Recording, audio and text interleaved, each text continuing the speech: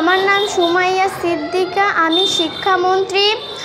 আজ আমাদের প্রথম পরীক্ষা শেষ হয়ে গেছে গতকালকে, আর এবার দেয়া হবে দ্বিতীয় পর্বের বই।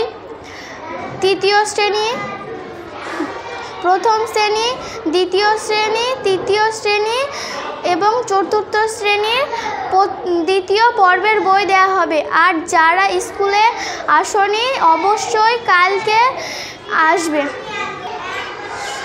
প্রথম শ্রেণির দ্বিতীয় পর্ব তৃতীয় শ্রেণির দ্বিতীয় পর্ব, তৃতীয় আমার বই, আর তৃতীয় শ্রেণির আমার, তৃতীয় শ্রেণির উইংস, আমার তৃতীয় শ্রেণির উইংস, দ্বিতীয় পর্ব, আর চতুর্থ বই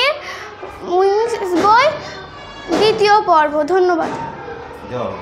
দেয়া হলো আজকে ধন্যবাদ। যারা এখনই বই পাওনি তারা নিশ্চয় কালকে স্কুলে এসে বই নিয়ে যাবে কারণ কাল এবার গরমের ছুটি পড়ে যাবে আর তোমরা বই পাবে না এই জন্য তোমরা পড়তে পাবে না পরীক্ষাও ভালো করে দিতে পারবে না। ধন্যবাদ। অবশ্যই বই সংগ্রহ করবে ধন্যবাদ।